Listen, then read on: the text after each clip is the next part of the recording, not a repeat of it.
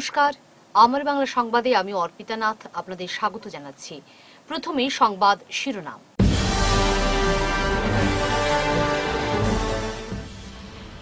শিলচর জয়ন্তিয়া সড়কের বেহাল অবস্থা।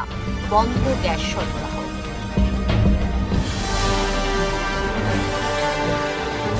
নতুনভাবে নিযুক্তি নিয়ে বরাকের একমাত্র ঔদ্যোগিক প্রতিষ্ঠান এনআইটি।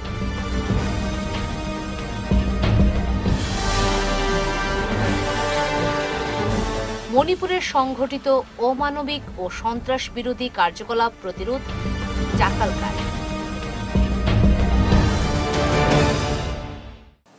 এবারেই বিস্তারিত আমার বাংলা সংবাদ।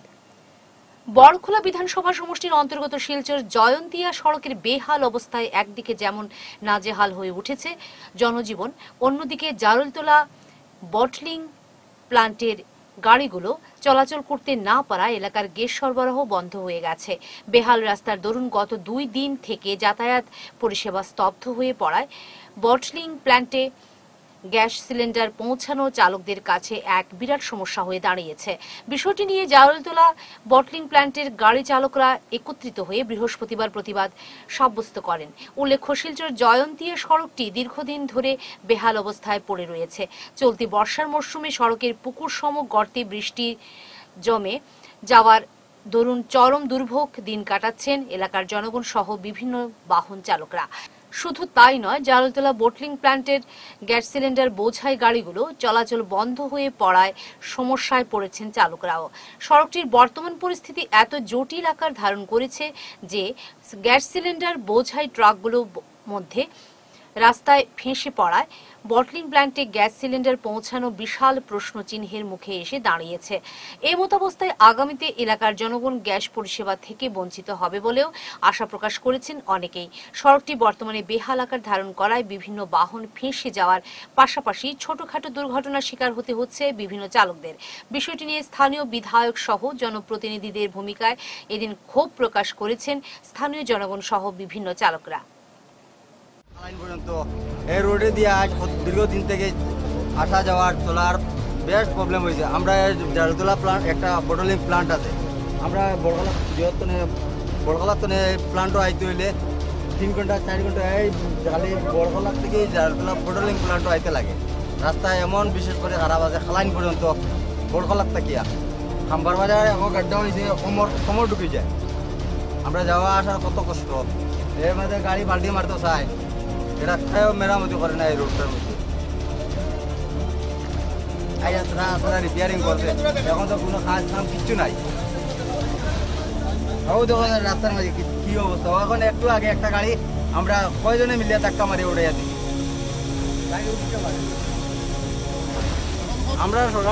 আমরা রাস্তাটা মেরামত করে আমরা আসা যাওয়া করি। নাইলে তো এই যে গ্যাস প্লান্ট আছে বোটলিং প্লান্টটা বন্ধ রইব।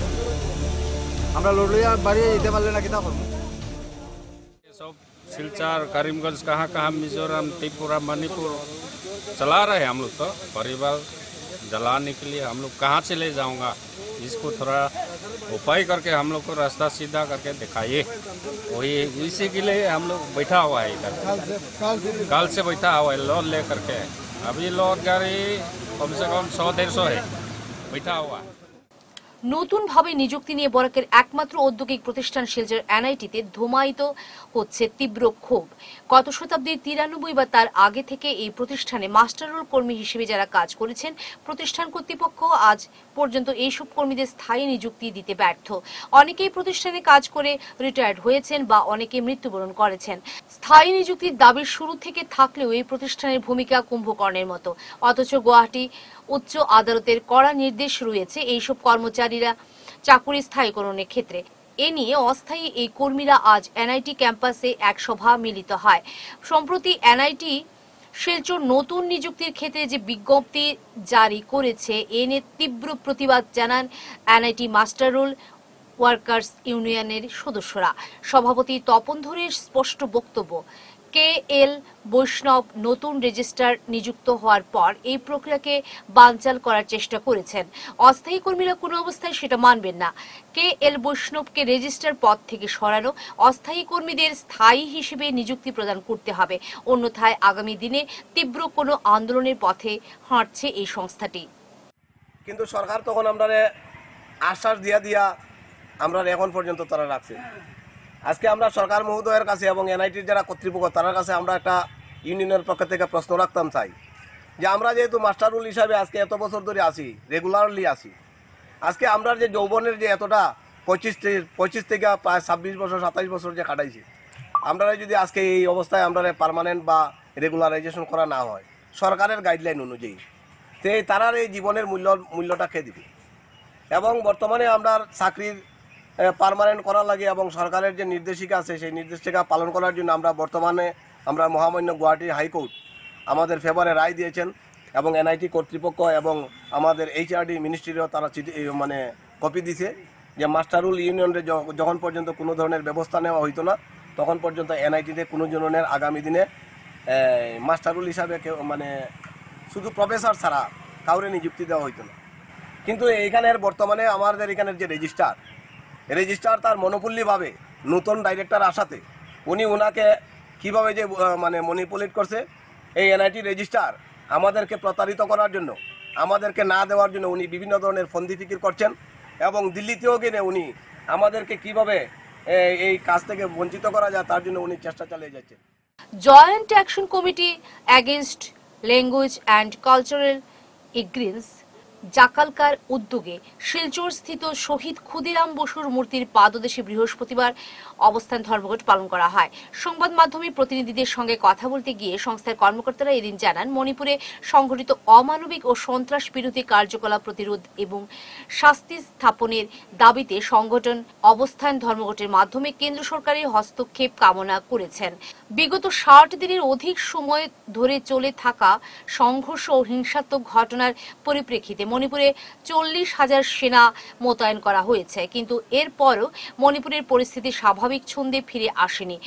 দিন প্রতিদিন মাতৃভূমি মণিপুরে কীভাবে একের পর এক আক্রমণ ও হিংসা বেড়ে চলেছে তা নিয়ে এদিন বিভিন্ন প্রশ্ন উত্থাপন করেছেন সংগঠনের কর্মকর্তারা।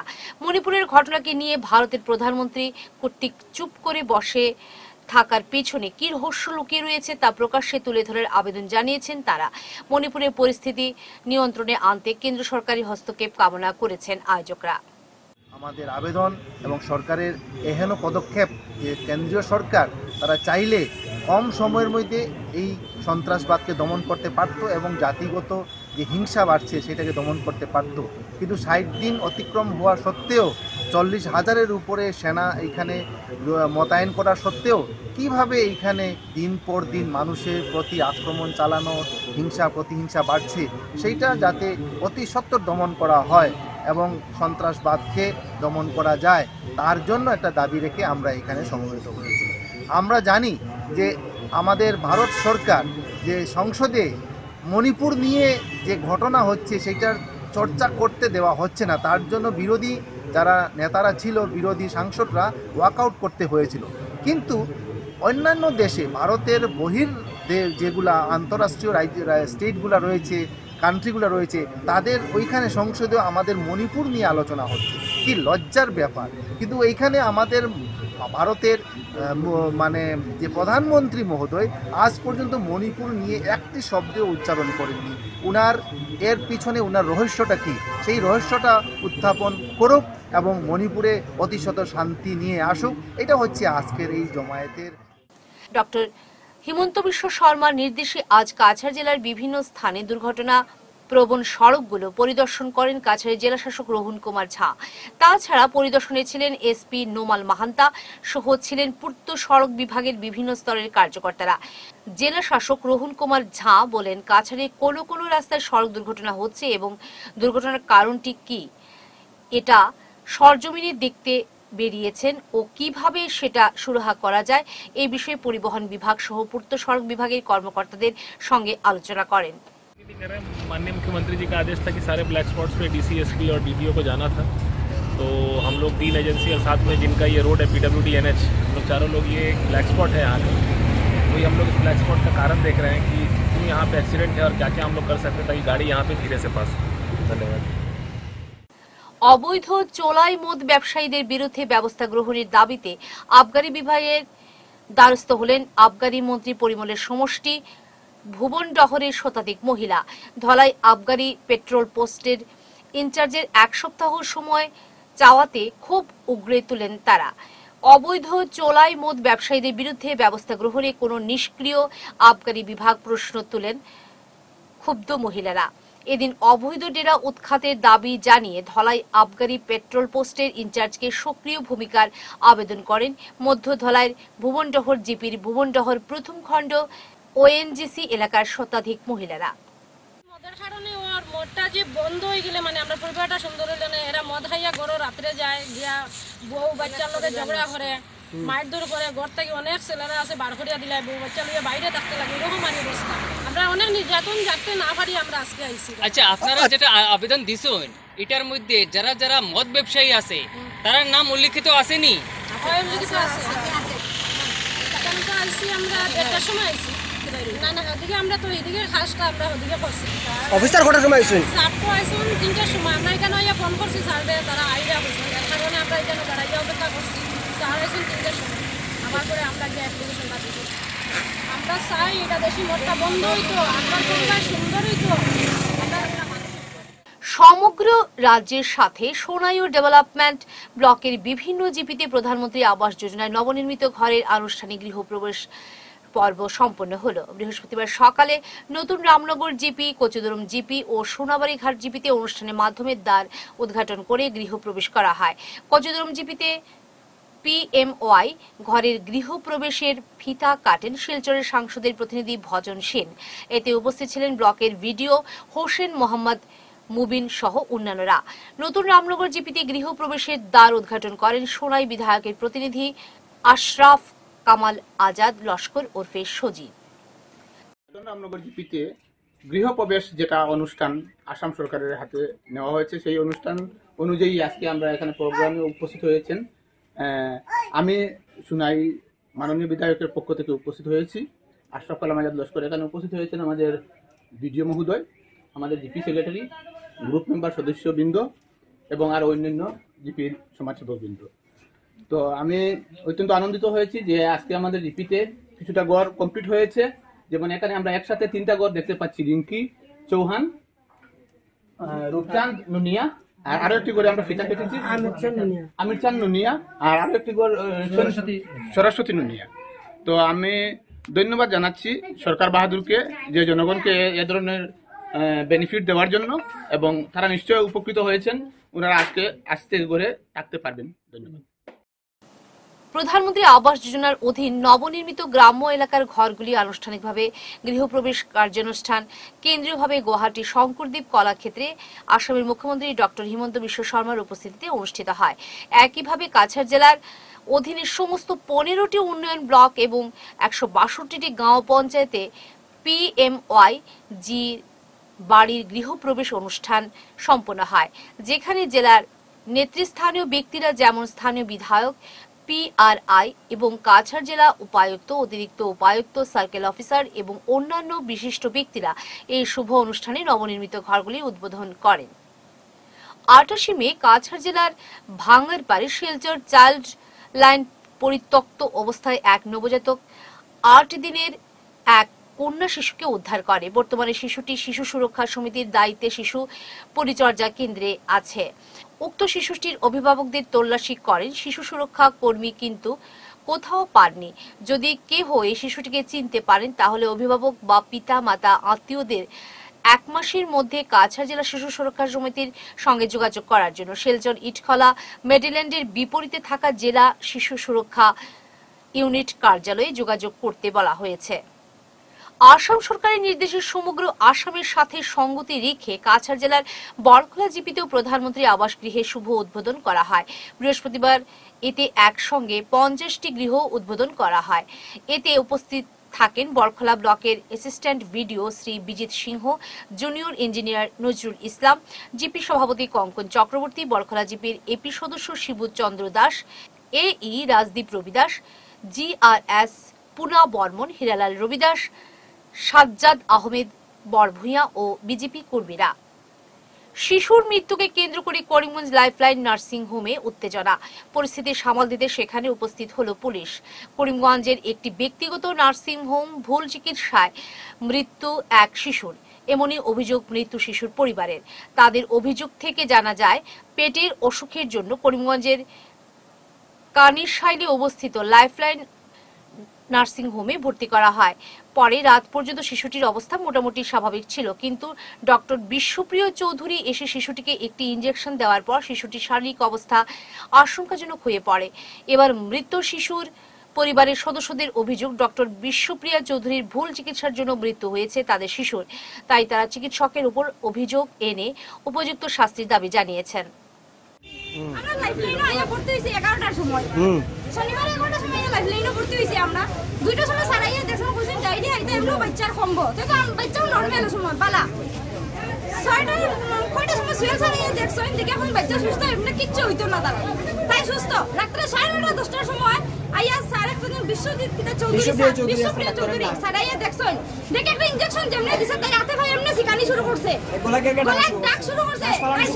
লগে লগে তো অক্সিজেন লাগাইছে। তেও তারা আমরা বাচ্চারে রেফার দেন না। রাতে সাড়ে বারোটার সময় আমরা তারা রিকোয়েস্ট করিয়া রেফার লইছি তারা রেফার দেন না। এরপর তো আমরা লইয়া গেছে আধা রাতে বাচ্চা। গেছে। তারা দেখছে দেখে ব্রেন করি ফেলাই দিছে এই। বাচ্চার এই নাই। রাখছে না তারা লগে লগে দিছে। সিভিল সিভিল আমরা আইছি। আমার পরে তারা দেখছে দেখে হয় বাচ্চা আমরা এখানে এই রাখলাম injection না। নাই এই বাচ্চার। Injection নাই। তারা পুরো ব্রেন ফাটাই ফেলাই দিছে আমার বাচ্চার। লগে লগে শিলচর মেডিকেলে গেছি আমরা। মেডিকেলে যাওয়ার পরে এক কথা কইছে আমরা এই ট্রিটমেন্ট করতে পারতাম না। তার কাছে মেশিন নাই নাকি তা হইছে মেডিকেল যাওয়ার পর কোন লাইফলাইন তারা 100 এর মধ্যে 99% তারা লাইফলাইন তারা শেষ করে দিয়েছে বাচ্চার অবস্থা। 90% লাইফলাইন তারা শেষ করে দিয়েছে বাকি 1% তারা দেয়া তখন আমরা এটা ডাক্তারের শাস্তি চাই। কোন ডাক্তার হাইলাকান্দি জেলা ক্রীড়া সংস্থা নেতাজি সুভাষচন্দ্র বসু স্টেডিয়ামের মাঠে বৃহস্পতিবার থেকে শুরু হলো অনূর্ধ্ব পনেরো ফুটবল প্রতিযোগিতা। এদিন দুপুর আড়াইটে প্রতিযোগিতার উদ্বোধন করা মায়া ক্লাব বনাম, ইলেভেন স্টার ক্লাব ম্যাচ দিয়ে। একই দিনে দ্বিতীয় ম্যাচে অনুষ্ঠিত হয় বিকেল সাড়ে তিনটে মুখোমুখি হয় স্টার ফুটবল একাডেমি বনাম, ইলেভেন স্টার ক্লাব। প্রতিযোগিতায় অন্য তিনটি দল হল BSS club Jariraban football academy MDC tribal club প্রতিযোগিতার উদ্বোধন করবেন রাজ্যের প্রাক্তন মন্ত্রী তথা হাইলাকান্দি জেলা ক্রীড়া সংস্থার সহসচিব আনিসুর রহমান, স্টেডিয়াম কমিটির চেয়ারম্যান পিনাকি ভট্টাচার্য, উপসভাপতি কামাল হোসেন চৌধুরী, ক্রিকেট সচিব বিভা ভূষণ চক্রবর্তী, সংস্থা অন্যতম কর্মকর্তা স্বপন পাল, ফুটবল সচিব মোফাজ্জল হোসেন লস্কর, স্টার ফুটবল একাডেমির চেয়ারম্যান আনিস আহমেদ লস্কর টুর্নামেন্ট যৌথভাবে আয়োজন করেছে হাইলাকান্দি জেলা ক্রীড়া সংস্থা ও স্টার ফুটবল একাডেমি। শেষ করার আগে বিশেষ বিশেষ খবর আরও একবার।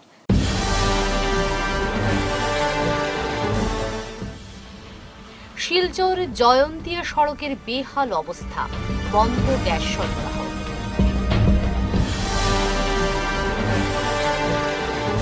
নতুনভাবে নিযুক্তি নিয়ে বরাকের একমাত্র ঔদ্যোগিক প্রতিষ্ঠান এনআইটি।